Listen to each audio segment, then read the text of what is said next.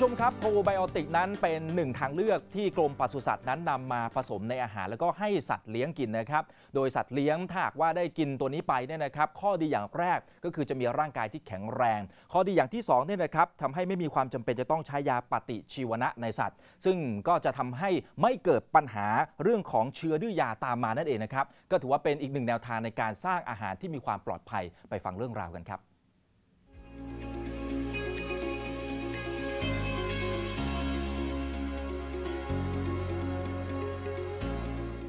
มปศุสัตว์เร่งแก้ปัญหาการใช้ยาปฏิชีวนะในสัตว์ที่ไม่เหมาะสม ซึ่งส่วนใหญ่นำไปใช้ในกระบวนการเร่งเจริญเติบโต และใช้ป้องกันโรคล่วงหน้าของสัตว์ ซึ่งเป็นสาเหตุที่ทำให้เชื้อโรคเกิดภาวะดื้อยา หรือเกิดโรคอุบัติใหม่ หากเชื้อถูกปล่อยออกสู่สิ่งแวดล้อมผ่านอุจจาระสัตว์ ก็จะยิ่งทำให้การแก้ปัญหายากมากขึ้น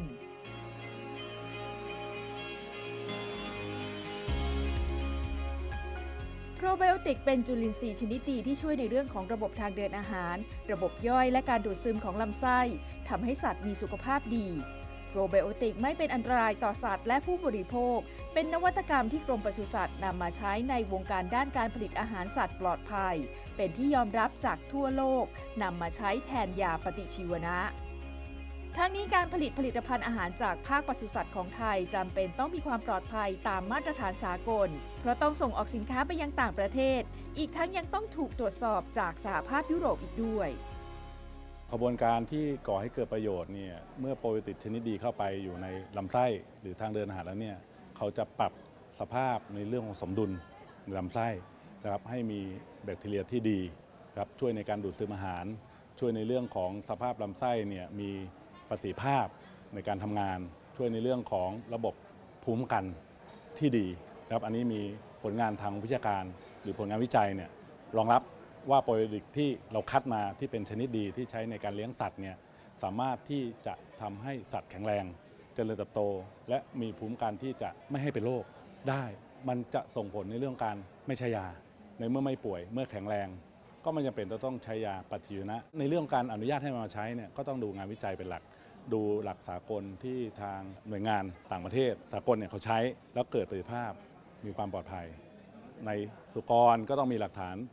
วิชาการว่าในสุกรใช้ได้ผลในไก่สปีก ก็มีโปรตีนที่ใช้ในไก่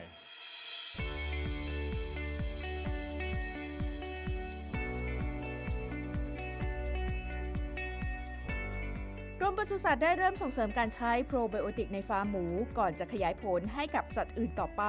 ทั้งไก่วัวและควาย ตามแผนยุทธศาสตร์ระยะ 5 ปี ตั้งเป้าไว้ว่าภายในปี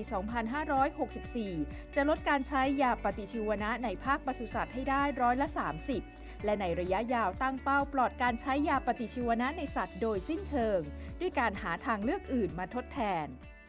เราก็มีตั้งเป้าเรื่องลดการใช้ยานะครับภายใน 64 ต้องลดลง 30%เพราะฉะนั้นแน่นอนครับก็ต้องเอาเหล่านี้มาทดแทนเอ่อราวๆ30%ภายใน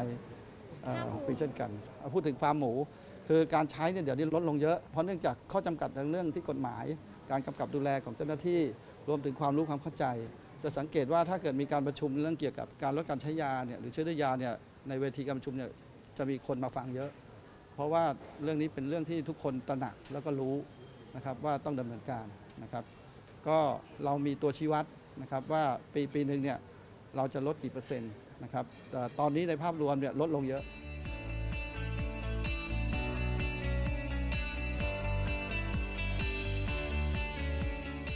กรมปศุสัตว์ยังได้จัดสัมมนาให้ความรู้แก่เกษตรกรเกี่ยวกับการใช้โปรไบโอติกในสัตว์อย่างต่อเนื่อง โดยในระยะยาวตั้งเป้าปลอดการใช้ยาปฏิชีวนะในภาคปศุสัตว์ไทยอย่างสิ้นเชิง ชุมครับจำนวนประชากรของคนทั้งโลกนั้นเพิ่มมากขึ้นเรื่อย ๆ ในทุกๆ ปีนะครับ เพราะฉะนั้นความต้องการในเรื่องของอาหารก็จะเพิ่มสูงขึ้นด้วย เพียงแต่ว่าไม่ใช่อาหารอะไรก็ได้ที่จะขายได้ดีนะครับ ต้องเป็นอาหารที่มีความปลอดภัยด้วย โดยในช่วงนี้นะครับ จะพาผู้ชมมาเจาะลึกเพิ่มเติมถึงการใช้โปรไบโอติกนะครับว่าจะมีส่วนช่วยในการเพิ่มประสิทธิภาพ แล้วก็สร้างทำให้อาหารนั้นปลอดภัยได้อย่างไรครับ เมื่อสัตว์นั้นกินอาหารที่ผสมโปรไบโอติกเข้าไปเนี่ยนะครับ มันจะเข้าไปช่วยในเรื่องของการสร้างสมดุลของระบบทางเดินอาหาร ระบบย่อยอาหาร แล้วก็ทำให้ลำไส้นั้นมีการดูดซึมได้ดีขึ้นด้วยนะครับ ที่สำคัญยังช่วยสร้างภูมิคุ้มกันโรคได้ดีขึ้น เมื่อสุขภาพของสัตว์แข็งแรงเนี่ยสิ่งที่ตามมาคือ ก็ไม่จำเป็นต้องใช้ยาปฏิชีวนะนะฮะ แล้วสำหรับโปรไบโอติกที่กรมปศุสัตว์นั้นจะอนุญาตให้ใช้กับสัตว์ได้นั้น จะต้องเป็นโปรไบโอติกที่มีงานวิจัยจากองค์กรที่น่าเชื่อถือระดับสากลให้การรับรองด้วยนะครับสำหรับแผนยุทธศาสตร์ของการจัดการดื้อยาต้านจุลชีพประเทศไทยตั้งแต่ปี 2560 ไปจนถึงปี 2564 ของกรมปศุสัตว์นั้น มีด้วยกัน 6 ยุทธศาสตร์นะครับ เอามาดูกันนะครับ ยุทธศาสตร์ที่ 1 คือการเฝ้าระวังการดื้อยาปฏิชีวนะ ตามมาด้วยยุทธศาสตร์ที่ 2 ก็คือการควบคุมการใช้ยาปฏิชีวนะในภาพรวมของประเทศ ยุทธศาสตร์ที่ 3 คือการป้องกันและควบคุมการติดเชื้อในสถานพยาบาล แล้วก็การดูแลการใช้ยาปฏิชีวนะอย่างเหมาะสม ยุทธศาสตร์ที่ 4 คือการป้องกันและควบคุมเชื้อดื้อยา และดูแลการใช้ยาปฏิชีวนะในภาคปศุสัตว์อย่างเหมาะสม ส่วนยุทธศาสตร์ที่ 5 นั่นคือการส่งเสริมความรู้ด้านเชื้อดื้อยา และความตระหนักด้านการใช้ยาปฏิชีวนะ ที่เหมาะสมให้กับภาคประชาชน